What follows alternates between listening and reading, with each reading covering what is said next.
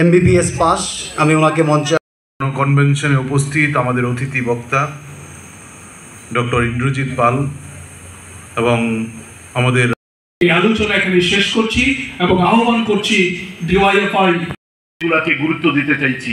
আমরা আইনের শাসন পুনঃপ্রতিষ্ঠার প্রশ্নে আমরা যা বিষয়গুলোকে প্রাধান্য দিতে চাইছি যে রাজ্যে যে জঙ্গলের রাজত্ব চলছে এই জঙ্গলের রাজত্বের অবসান করতে হবে। আমাদের রাজ্যের ছাত্রী শিশু যুবতী এবং মহিলারা নানাভাবে প্রতিদিন আক্রান্ত হচ্ছেন। আমরা দেখছি তারা যখন আক্রান্ত হন, এই আক্রমণকারীরা হচ্ছেন শাসক দলের নেতা, কর্মী, সমর্থক কিংবা বাইক বাহিনীর। যে কারণে পুলিশ তাদের বিরুদ্ধে কোনো ভূমিকা গ্রহণ করতে সাহস পাচ্ছেন না। আর একের পর এক এই ঘটনাগুলোর ফলে নারী, মহিলা, ছাত্রী, শিশুদের উপর এই বর্বরতম আক্রমণ ঘটনাগুলো বাড়ছে দিনের পর দিন। আমরা এর বিরুদ্ধে সরকারের কাছে দাবি জানাতে চাইছি, কঠোর ব্যবস্থা গ্রহণ করতে হবে। আমাদের যে দুর্নীতি সরকারের একটা অলঙ্কারে পরিণত হয়েছে। চুরি, ছিনতাই মাফিয়ারাজ পাচার বাণিজ্য। এর বিরুদ্ধে আমাদের রাজ্যের সরকারকে কঠোর ব্যবস্থা গ্রহণ করতে হবে। আমরা এই ঘটনাগুলোকেই প্রাধান্য দিতে চাইছি। আমাদের তিন নম্বর দাবির মধ্যে নেশা এবং নেশা কারবারের বিরুদ্ধে কঠোর ব্যবস্থা গ্রহণ করার দাবি জানাচ্ছি। কারণ আমরা দেখেছি আমাদের রাজ্যের দুই হাজার আঠারো সালে যখন বিজেপি সরকার তৈরি হয়, তখন বিপ্লব দেবের নেতৃত্বে স্লোগান উঠেছিল, নেশা মুক্ত ত্রিপুরা। আর সেই বিপ্লব দেবের নেতৃত্বে শুরু হয়েছিল আমাদের রাজ্যের ছোট মাঝারি বা ছোট ছোট গ্রামের বাজারে।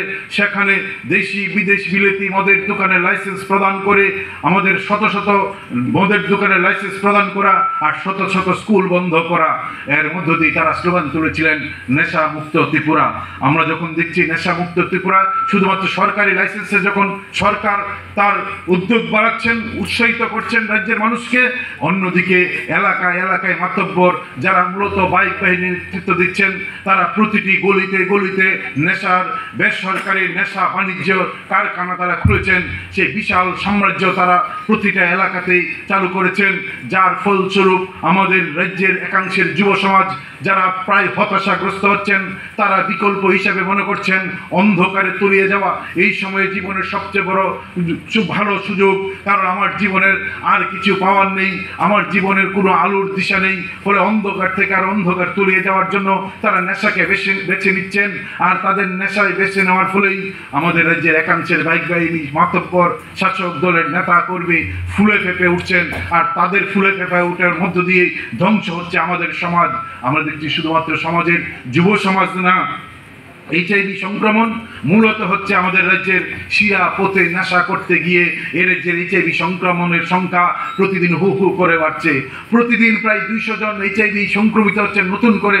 দু হাজার আঠারো সাল যেদিন ত্রিপুরা রাজ্যের বামফ্রন্ট সরকার ছিল, নেশা মুক্তির স্লোগান ছিল না, কিন্তু নেশার বিরুদ্ধে কঠোর পদক্ষেপ ছিল, সেই সময় আমাদের রাজ্যের মোট এইচআইভি আক্রান্তের সংখ্যা ছিল মাত্র তিনশো আটত্রিশ জন। আর এই তিনশো আটত্রিশ জনের মধ্যে ছাত্রের সংখ্যা ছিল মাত্র তেরো জন। আমরা দেখছি দুই সালের যখন নেশা মুক্তির স্লোগান তুলে বিজেপি নেতৃত্বে সরকার, বিপ্লব দেবের পর যখন আজকে মানিক শাহ সরকার, তখন আমাদের রাজ্যের এইচআইভি শিরাপথে তার নব্বই নিরানব্বই শতাংশ আক্রান্ত হচ্ছেন। শিরাপথে নেশা করতে গিয়ে ছাত্র যুব নতুন প্রজন্ম, তার মধ্যে দু হাজার আঠারো সালে ছিল সবে মাত্র আটশোশো আঠাশ জন আর দুই হাজার চব্বিশ, তেইশ, চব্বিশ সালে এই সংখ্যা গিয়ে দাঁড়িয়েছে আট হাজার সাতশো উনত্রিশ জন। আটশোশো আঠাশ জন থেকে আট হাজার সাতশো উনত্রিশ জন এই সাত বছরে এই নেশা মুক্তির ত্রিপুরা স্লোগান, এটাই হচ্ছে বিজেপির স্লোগান, যে নেশাই ভাসিয়ে দাও, স্লোগান উপরে থাকবে। যেমনটা স্লোগান ছিল, বেটি পড়াও, বেটি বাঁচাও, এই স্লোগান দেওয়ার পর আমরা দেখেছি, বেটি পড়াও, বেটি বাঁচাও স্লোগানের মধ্য দিয়ে বিজেপি সরকার বড় বড় হোল্ডিং লাগিয়েছিল। কিন্তু যখন এই বেটিদের উপর আক্রমণ হয়েছে, নির্যাতন হয়েছে, গণধর্ষণ করে বিজেপির নেতা যখন জেলে যায়, আর তাকে যখন সুদ ছাড়া হয় জেল থেকে, বিজেপির আবার তাবর তাবর নেতারা জেলের বাইরে ফুলের মালা নিয়ে দাঁড়িয়ে থাকেন, কারণ গণধর্ষণকারী বিজেপির নেতা জেল থেকে বেরোচ্ছেন, তাকে ফুলের মালা দিয়ে বরণ করছেন, আর এই ঘটনাগুলোকে ঢেকে দেওয়ার জন্য তারা উপর দিয়ে নতুন নতুন স্লোগান দেয়। মহিলাদের উপরও আক্রমণ যখন বাড়ে, তখন তারা স্লোগান তুলে, বেটি পড়াও, বেটি বাঁচাও। নেশাই রাজ্যকে যখন ডুবিয়ে দেওয়ার পরিকল্পনা, নীল নকশা বিজেপি সরকার তৈরি করেছে, আমাদের রাজ্যে তার উপর ঢেকে দিচ্ছেন নতুন স্লোগান, নেশা মুক্ত ত্রিপুরা। আমাদের রাজ্যে যখন আট হাজার আমার পক্ষ থেকে অভিনন্দন, শুভেচ্ছা, লাল সালাম জানাচ্ছি। আমি আমাদের বিশিষ্ট আইনজীবী ওনার সঙ্গে আমাদের যোগাযোগও আছে এবং আমাদের মঞ্চ ভূমিষ্ঠ আছেন ভিত্তিতে রাজ্য কমিটির এবং টিআইএফ কেন্দ্রীয় কমিটির যে বোঝাপড়ায় আগামী দিনে আগামী দিনের কর্মসূচির মধ্য দিয়ে তাদের কথা মানুষের কাছে পৌঁছে দিয়ে আমাদের আন্দোলনের ভিত্তি আমি শুধুমাত্র আমাদের সংগঠনের, দুটা সংগঠনের রাজ্যের কেন্দ্রীয় নেতৃত্বের বোঝাপড়ার ভিত্তিতে যে প্রস্তাব, আমি শুধুমাত্র এই প্রস্তাবটা আপনাদের সামনে প্রশ্ন চিহ্ন তৈরি করে দিতে পারব। তার জন্যে যুবকদের সংগঠিত হওয়ার আহ্বান আমরা আমরা শাসক গোষ্ঠীর শক্তিকে একটু বড় করে দেখবার চেষ্টা করছি। কিন্তু আমরা জানি মানুষকে করছি। এই তিনটা দফা দাবির মধ্যে যে সরকারের সকল দপ্তরের সমস্ত শূন্যপদ আমরা যদি যুবকদের কাছে পৌঁছে যেতে পারি আজকে আমাদের এই ত্রিপুরা রাজ্যে যে কর্মসংস্থানের সংকট এর মধ্যে লাগিয়েছি।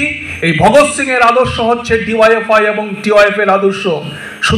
রোমান সাম্রাজ্যবাদের বিরুদ্ধে যেদিন স্পার্টাকাস মুখে দাঁড়িয়েছিলেন, আমরা বামপন্থীরা স্পার্টাকাস ব্রিটিশদের আইনসভায় যখন ভগৎ সিং বোমা নিক্ষেপ করেছিল, বধিরের কানে আওয়াজ তুলে এমবিবিএস পাস। আমি ওনাকে মঞ্চে আসন গ্রহণ করার জন্য অনুরোধ করব। সাগর সবাইকে আরও বেশি সম্প্রসারিত করবার দায়িত্ব এই কনভেনশন থেকে